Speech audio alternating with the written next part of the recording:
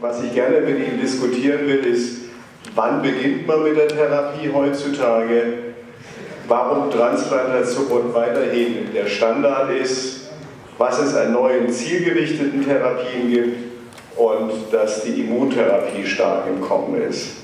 Zunächst mal zu den bisherigen Therapieentscheidungen.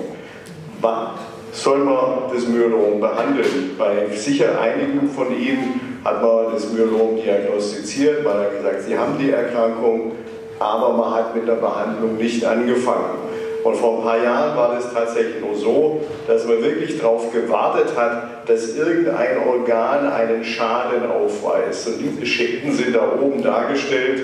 Also entweder war das Kalzium im Blut erhöht, dann war die Niere schlechter, der rote Blutfarbstoff war abgefallen oder man hat im Röntgen Knochenveränderungen gesehen oder es gab häufiger Infektionen. Das waren damals die Kriterien. Es war häufig ganz schwierig zu sagen, auch im Gespräch mit dem Patienten, weil wurde immer wieder gesagt, ja klar, bei anderen Tumorerkrankungen, da stellt man die Diagnose, dann fängt man mit der Therapie an. Warum muss ich jetzt warten, bis ein Organ dann tatsächlich geschädigt ist? Und das liegt natürlich daran, dass nicht bei allen Patienten dann sozusagen relativ kurzfristig Probleme auftreten.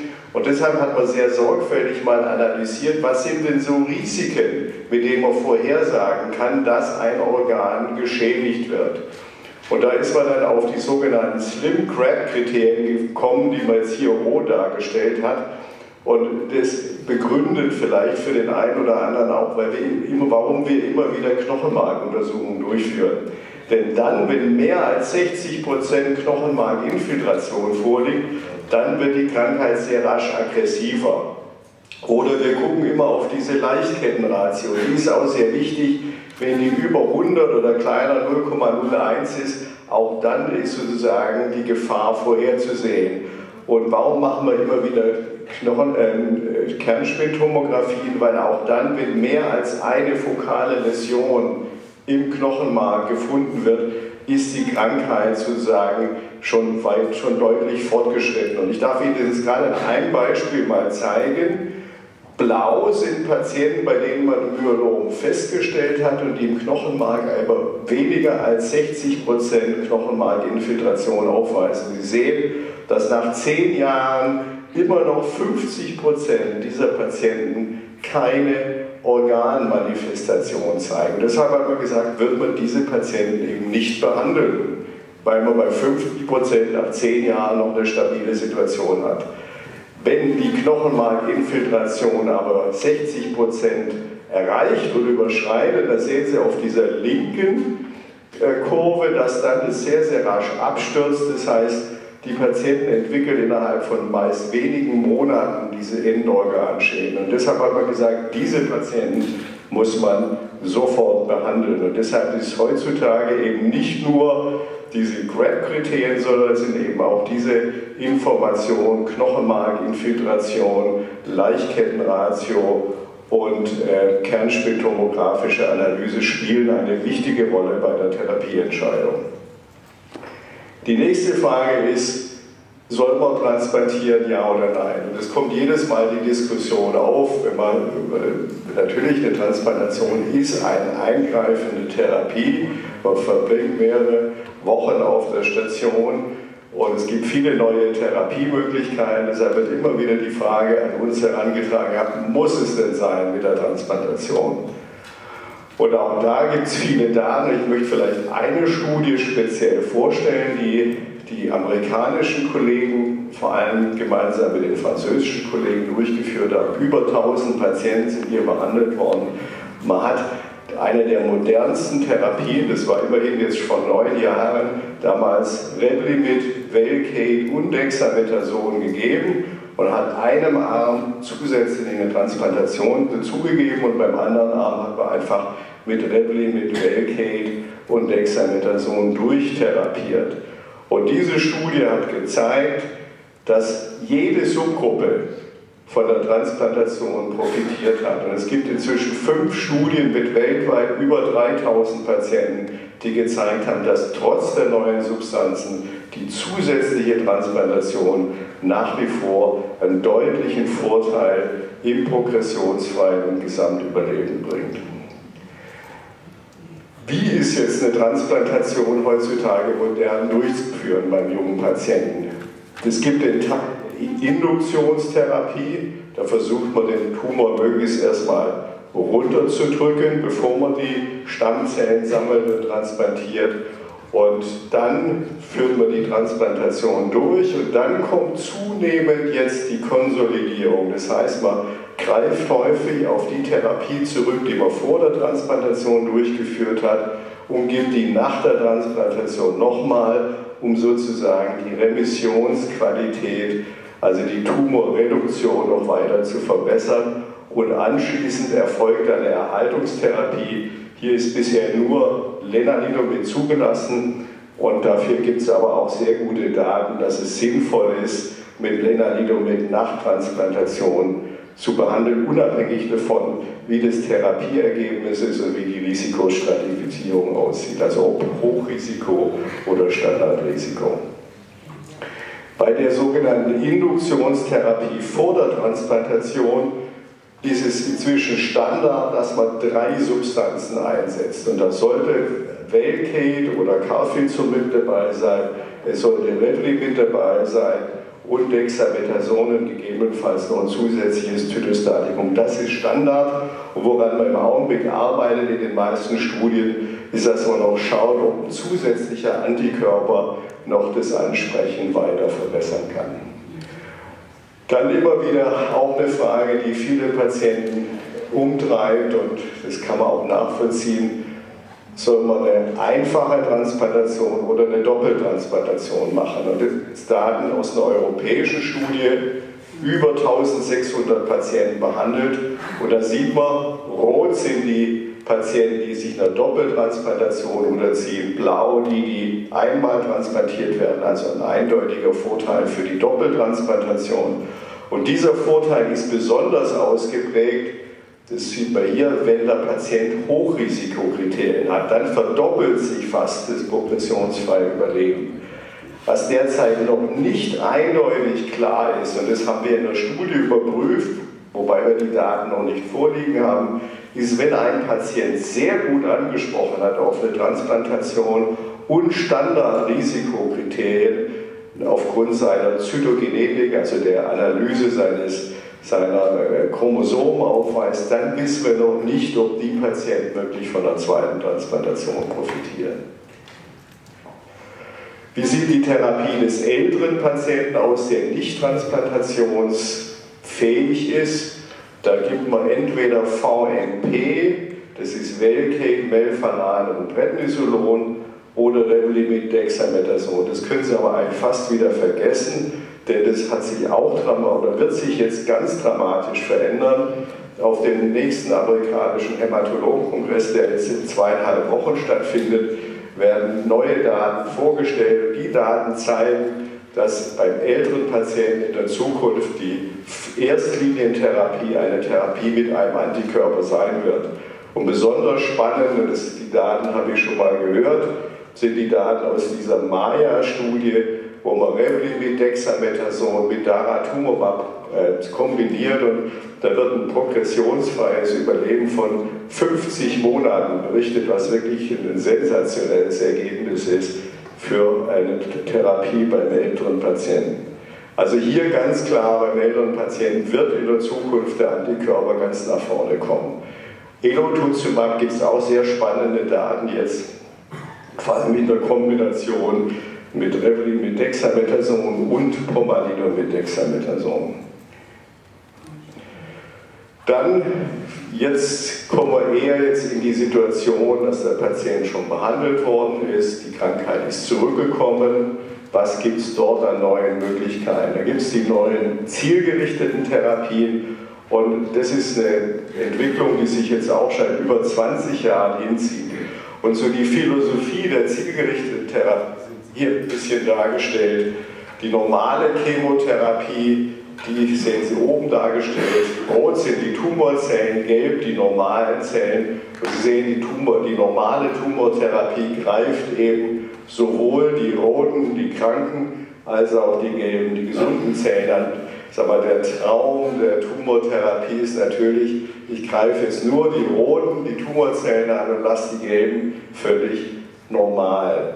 Und die erste und die Basis sozusagen dieser zielgerichteten Therapie besteht darin, dass man eben dies, die Erbsubstanz des Tumors sehr, sehr genau charakterisiert. Und äh, Dr. Korte wird hier nachher nochmal neue Verfahren zu dieser ähm, Diagnostik vorstellen.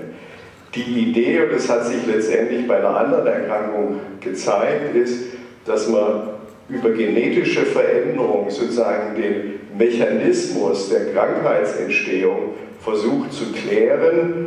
Und die ist zum Beispiel bei dieser speziellen Form der Leukämie eine neue durch eine genetische Veränderung entstandenes Protein. Und dieses Protein ist dafür verantwortlich, dass die Zelle zum kontinuierlichen Wachstum und zum Überleben angeregt wird. Und man hat inzwischen gelernt, dieses neue Protein sozusagen auszuschalten durch ein Eiweiß. Das sehen Sie jetzt hier mal dargestellt, wie sozusagen dann die, die sozusagen Nachrichten in Richtung Zellkern, in Richtung Zelle, sie soll sich teilen, durch diese zugegebene Substanz, die man als Tablette gibt, blockiert wird. Hier vielleicht noch ein bisschen besser dargestellt, das ist sozusagen das Protein, was neu entstanden ist. Das holt sich hier über das ATP sozusagen die Energie. Das müssen Sie sich vorstellen, wie wenn hier sozusagen der Motor getankt wird. Und die Idee mit dieser neuen Substanz, und das ist das Prinzip dieser zielgerichteten Therapien, ist, dass diese neue Substanz sozusagen den Tankstopfen hier äh, verstopft und sozusagen keine Energie mehr an dieses den Tumor auslösende Protein herangeführt werden kann. Das sieht dann so aus, das wird praktisch probiert und jetzt kann die, der Tumor sozusagen nicht mehr getankt werden.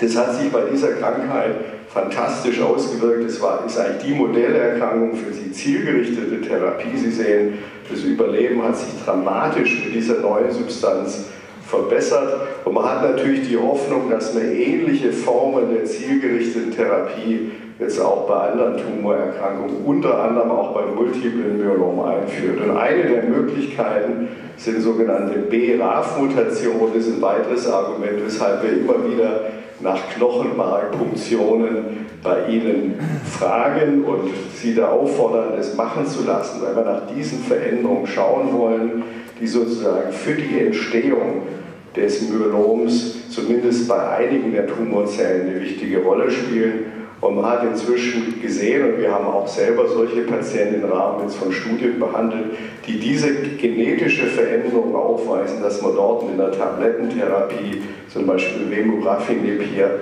wir machen es jetzt in einer Kombination, doch sehr schöne Ansprechen äh, erreichen kann. Eine andere ganz neue Substanz, die jetzt auch massiv bei Multiple Myelom erprobt wird, ist das sogenannte Venetoclax. Venetoclax ist ein Apoptose-Induktor, das heißt also jede Zelle hat sozusagen einen Mechanismus, der ihren Tod bestimmt und eine Tumorzelle äh, zeichnet sich dadurch aus, dass sie sich diesem Selbsttodmechanismus entzieht und den versucht man mit dem Venetoclax wiederherzustellen. Und da sieht man einer Subgruppe von Patienten, auch das ist ein weiteres Argument immer wieder für die Knochenmarkpunktion, dass wir hier nach der Translokation L14 schauen. Denn für diese Form ist diese neue Therapie sehr, sehr wirksam, wie Sie hier sehen. Und wir haben auch äh, Patienten in Würzburg behandelt. Und es ist jetzt mal ein Patient, da sehen Sie mal, wie wirksam sowas bei dieser Subgruppe sein kann. Der ist mit VCD behandelt worden, also Velke, Cyclophosphamid, Dexamethason hat nicht angesprochen, hat dann eine Kombinationstherapie bekommen, ist dann mit Daratumumab behandelt worden, immer kein Ansprechen, auch auf Stammzelltransplantation kein Ansprechen. Und wir haben ihn dann auf so eine Venetoclax-Kombinationstherapie gesetzt und innerhalb von wenigen Wochen war der Patient in der kompletten Beispiel dafür, dass eben diese zielgerichtete Therapie hocheffizient sein kann. Es gibt jetzt neue Substanzen, die vielleicht noch breiter zielen, wo man eben nicht nur diese L14-Translokation angeht, das sind die sogenannten MCL1-Inhibitoren, oder gibt es jetzt aus Studien, die, an denen wir auch teilnehmen, doch Berichte über zum Teil Exzellentes ansprechen. Also diese Apoptose-Induktion könnte ein sehr spannendes Therapieprinzip für die Zukunft werden. Dann ein weiteres interessantes Molekül, auch ein spannender Name, Selinexor, ein Inhibitor des Kernexportes. Also was das letztendlich macht, dieses Medikament, ist, dass es äh, der Tumorzelle nicht erlaubt, Eiweiße aus dem Zellkern auszuschleusen, die das Tumorwachstum hemmen. Das sozusagen zwingt die Tumorzelle auch zum stärkeren Absterben. Und dieses Medikament, was wir derzeit auch in Studien evaluieren, ist insofern sehr spannend, weil es auch bei Patienten, die sozusagen auf alles, was der Markt bisher hergibt, nicht mehr ansprechen, immer noch bei 20 bis 25 Prozent gutes Ansprechen bringen. Und diese Substanz wird jetzt auch zunehmend mit anderen Substanzen kombiniert. Nun zum Abschluss noch zur Immuntherapie. Die Immuntherapie, hören Sie ja überall, ist sehr stark im Kommen. Man hat gerade den Nobelpreis für Medizin auch für die Immuntherapie vergeben. Diese spezielle Form, die für den Nobelpreis aber ausgezeichnet worden ist, kommt bei Myelom wahrscheinlich nicht zur Anwendung, weil dort die Tumorzellen wahrscheinlich für diese Form der Immuntherapie einfach nicht geeignet sind. Aber es finden andere. Und äh, jetzt aber nochmal zunächst zu der Frage, und es führt dann auch so in diese Therapien über, Warum versagt das Immunsystem des Patienten in der Kontrolle des Patienten?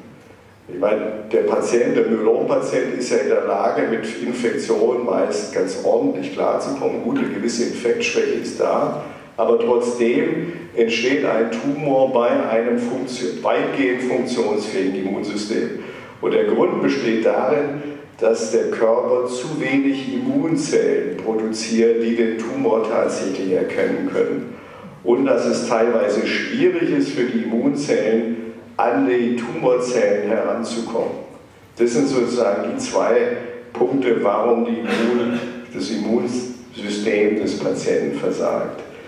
Und äh, hier ist sicher die allogene Stammzelltransplantation nach wie vor eine der Möglichkeiten, dieses Immunsystem sozusagen gegen den Tumor zu aktivieren.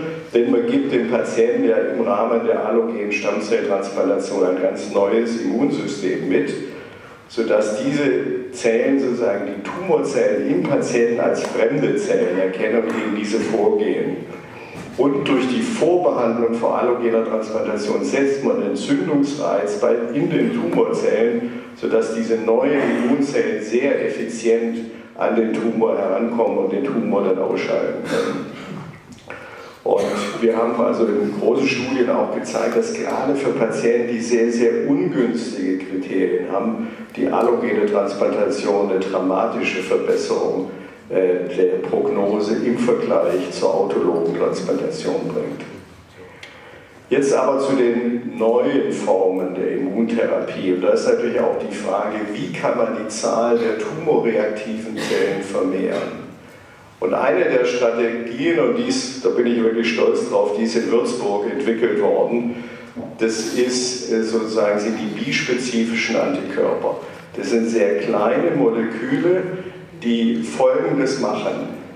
Sie binden an eine Immunzelle, die zum Beispiel gegen das Grippevirus gerichtet ist, mit diesem roten Bindungsteil und mit dem grünen Bindungsteil binden Sie an eine Tumorzelle. Sie bauen sozusagen eine immunologische Brücke zwischen einer Immunzelle, die gegen zum Beispiel Grippe gerichtet ist, und der Immunzelle. Und das bewirkt, dass die Immunzelle plötzlich nicht mehr nur gegen das Grippevirus vorgeht, sondern die Tumorzelle erkennt und die Tumorzelle dann zerstört. Wir haben das erstmals beobachtet, also in der klinischen Anwendung beobachtet bei Patienten, die wirklich mit dem austherapierten Lymphknotenkrebs zu uns gekommen sind Und wir haben Patienten, die jetzt über vier, fünf Jahre nach wie vor krankheitsfrei sind. Und das Zweite, wo es die, inzwischen sogar zur Zulassung dieses Medikamentes geführt hat, ist die akute lymphatische Leukämie. Das ist sozusagen unsere Starpatientin, die mit noch hohem Alter zu uns kam, mit einer schweren Leukämie-Symptomatik. Man hat dann die akute Leukämie diagnostiziert, man hat sie chemotherapiert, sie hat nicht angesprochen. Die Lebenserwartung wäre bei ihr in Tagen bis Wochen bemessen gewesen. Man hat sie dann mit dieser neuen Immuntherapie behandelt. Sie kam in eine komplette Remission, ist seit neun Jahren jetzt krankheitsfrei. Und das hat letztendlich dazu geführt, dass diese Substanz, diese neue Immuntherapie auch weltweit inzwischen zugelassen worden ist für die Therapie der akuten lymphatischen Leukämie.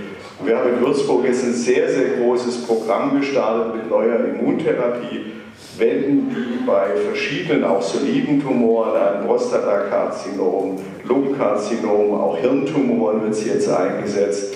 Wo wir natürlich sehr, sehr spannend waren oder gespannt waren, waren die Ergebnisse zu Multiple Myelom und zur akuten myologischen Leukämie. Und ich zeige Ihnen jetzt mal die Daten zum Multiple Myelom. Es war eine sehr intensive Arbeit, an der sich verschiedene Zentren, auch französische Kollegen, beteiligt haben. Man musste erstmal die Dosis steigern, aber die Daten sind jetzt sozusagen für die erste Studie abgeschlossen und die werden als sozusagen beste Präsentation auch auf dem amerikanischen Hämatologenkongress auch ausgezeichnet. Und jetzt hier mal ein Beispiel, wie diese neue Immuntherapie, ich erzähle jetzt gerade ja mal für das Lymphom und für die akute lymphatische Leukämie gezeigt. Sie sehen, das ist ein Patient, der ist klassisch behandelt worden, dreimal VCD, hat dann eine Stammzelltransplantation bekommen, war dann wieder progredient, ist dann mit Revlimid, Dexamethason behandelt worden, hat dann einen Antikörper bekommen, dann einen anderen Antikörper mit Pomalidomid und war wieder progredient, ist dann mit diesem neuen Immuntherapie, die sich Ihnen gerade gezeigt hat, diesem bispezifischen Antikörper behandelt worden. Und Sie sehen, innerhalb von wenigen Tagen kam der Patient in eine komplette Remission. Und was wir sagen können, in der Dosis, die man jetzt erreicht hat, haben praktisch alle Patienten eine komplette Remission erreicht, obwohl sie alle deutlich vorbehandelt waren und einige waren auch MRD-negativ, sodass das als eine der neuen Immuntherapien wirklich mit ganz, ganz großem Potenzial jetzt weltweit diskutiert wird. Und wir sind natürlich sehr stolz, dass wir die Daten jetzt in den USA vorstellen dürfen. Sie haben alle von den Hemibodies gehört, das ist sozusagen schon die nächste neue Entwicklung. Da geht es jetzt darum, dass man diese bispezifischen Antikörper noch wirksamer, noch effektiver macht. Und es äh, geschieht dadurch, dass äh, diese Hemibodies nicht ein einziges Antigen, sondern zwei Antigene auf der Zelloberfläche des Multiple Myeloms erkennen und dass man dadurch eine höhere Spezifität und auch weniger Nebenwirkungen erreichen kann. Und Herr Stuhler und Herr Bumm sind ja sehr aktiv und nachdem ich gesagt habe, ich möchte es gerne zuerst beim Myelom getestet haben, haben sie auch die erste Entwicklung jetzt in Richtung Multiples Myelom vorangetrieben und sie versuchen jetzt hier eben verschiedene Kombinationen von Oberflächenantigenen auf dem Multiple Myelom zu adressieren. Die letzte äh, neue Entwicklung, die ich Ihnen vorstellen will, sind die sogenannten KT-Zellen. Da wird Ihnen nachher Michael Udecek, der bei uns das äh, wissenschaftliche Programm zu dieser neuen Immuntherapie leitet, noch mehr vorstellen. Warum ist das sozusagen eine sehr, sehr spannende Geschichte? Ähm, das geht auch immer, sind es häufig ja Patienten, Patientenschicksale, die dann sozusagen so eine Therapie ähm, äh, bekannt machen. Das war ein vierjähriges Mädchen, Amy Whitehead, die im Alter von vier Jahren an einer akuten äh, Leukämie erkrankt ist, in sämtlichen amerikanischen Zentren oder in einigen der großen Zentren behandelt worden, hat auf keine der neuen Therapien angesprochen. Hat den Eltern schon gesagt, nimm die Emmy in ein Hospiz, wir können nichts mehr für sie tun. Und dann kam dieser Kollege Karl Jun zum Einsatz, der hat sozusagen diese KT-Zellen in den USA mit als einer der ersten in die klinische Anwendung gebracht. der hat Emmy behandelt und Emmy ist jetzt seit sechs Jahren krankheitsfrei. Und das hat natürlich in den USA sozusagen einen totalen Hype für diese neue Therapie ähm, ausgelöst. Und äh, auch hier darf ich sagen, dass wir in Würzburg wahrscheinlich die in Deutschland größte Erfahrung im Einsatz solcher KT-Zellen haben. Wir haben inzwischen über 20 Patienten, allerdings nicht mit Multiple Myelom, sondern mit Non-Hodgkins-Lymphom und Leukämie behandelt. Und ähm, Michael Budicek wird später noch die Aktivitäten genauer vorstellen. Jetzt gibt es aber eben auch Anwendungen bei Multiplen Myelom und das war auch in Nature Biotechnology, also im ganz berühmten Journal, ist da dieser Patient vorgestellt worden mit Multiple Myelom, der sozusagen auch als austherapiert eingeschätzt worden ist, der dann diese KT-Zellen bekommen hat. Und Sie sehen, er hat nicht nur ein sehr gut kontrolliertes Myelom jetzt, sondern auch eine super Lebensqualität und ist sozusagen jetzt die Werbefigur für die KT-Zellen beim Multiple Myelom in den USA geworden.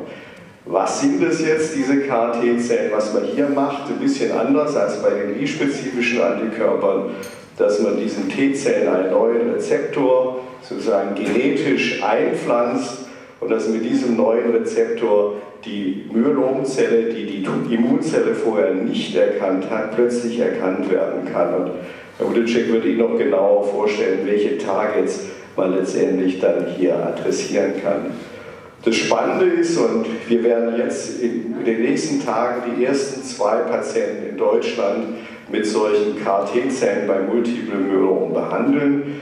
Vielleicht nochmal, wie das Ganze abläuft. Man wird zunächst mal, gibt man Flutarabin, Cyclophosphamid, das heißt, man reduziert die Lymphozyten im Patienten und gibt dem Patienten dann Zellen, die man vorher entnommen hat und die man genetisch verändert hat, wieder zurück. Das Verfahren läuft so ab, dass die Zellen hier in Würzburg entnommen werden, dann gehen sie nach, nach, nach Köln, werden dann von Köln nach USA transportiert, werden dort vier Wochen lang genetisch verändert, kommen dann wieder zurück und werden dann in den Patienten infundiert. Das ist natürlich ein sehr kompliziertes Verfahren. Wir arbeiten daran, dass man das vielleicht auch hier in Deutschland machen kann. Auf jeden Fall die Ergebnisse bisher, hat sich wie immer Patienten ausgewählt, die massiv vorbehandelt sind, also sieben bis acht Linien Vortherapie. Sie sehen, ein Großteil der Patienten war komplett refraktär auf alles, was man bisher äh, sozusagen beim Multiple Myelom einsetzt. 100% haben angesprochen auf diese Therapie trotz dieser massiven Vorbehandlung. Und Sie sehen, dass immerhin 50 Prozent komplette Remissionen hatten. Da gab es jetzt einige Diskussionen, das sind jetzt das äh, progressionsfreie Überleben. Also die Patienten, die super angesprochen waren, haben 18 Monate krankheitsfrei überlebt.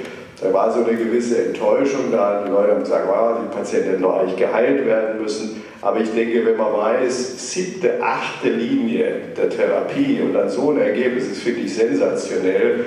Und im Augenblick, was passieren wird, ist, dass man diese Zellen eher früher bei den Patienten mit Multiple Myelom einsetzt. Und da glaube ich, werden die Ergebnisse auch noch besser werden.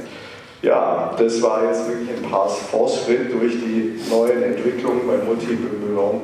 Vielen Dank, dass Sie dabei gewesen sind.